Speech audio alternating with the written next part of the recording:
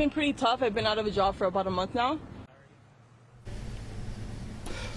Florida is facing record unemployment levels. So far, of the 850,000 people who filed for unemployment, only 135,000 have received their checks.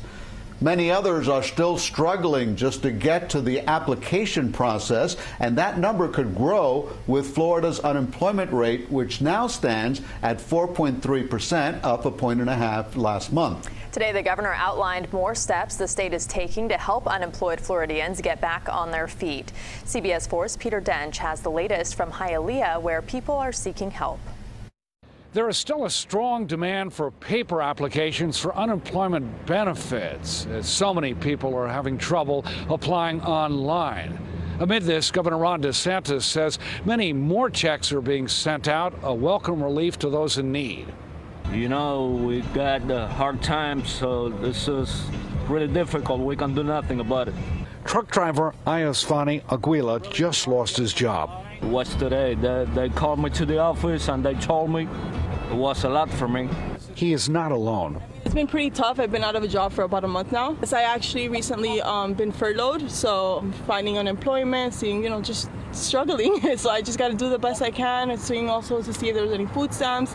Because, you know, food, I got to keep food on the table as well. Nicole Nissing and Aguila are both in line at the JFK Library in Hialeah to get a paper application to file for benefits because of troubles online super frustrating because it's very tough to log in. You know, things aren't like it's not loading up and it's horrible. We need to make sure the folks that have been displaced are able to get back on their feet. Governor Ron DeSantis says of 850,000 people in the state who filed unemployment claims, 135,000 checks have now been sent out. He admits the system is overwhelmed, but he says he's waived three laws, including a requirement applicants search for work before getting benefits and I waived the prohibition on receiving payment the first week after applying for assistance. That's the waiting week. And then I waived the requirement that individuals recertify their unemployment status every two weeks after applying. DeSantis cites other significant uh, changes.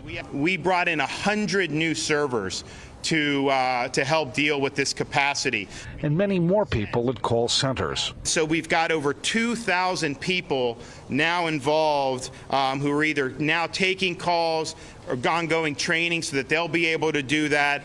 And if you go back a month ago, a month and a half ago, I mean, there were probably 30 people in the entire state doing it. We also set up a new website uh, to be able to accept uh, the data without undue delay. Economic analysts are predicting depression like conditions with unemployment eventually reaching 20% nationwide. But Governor Ron DeSantis says there is a path back. Unemployment is our top economic priority. In Hialeah, Peter D'Oench, CBS 4 News.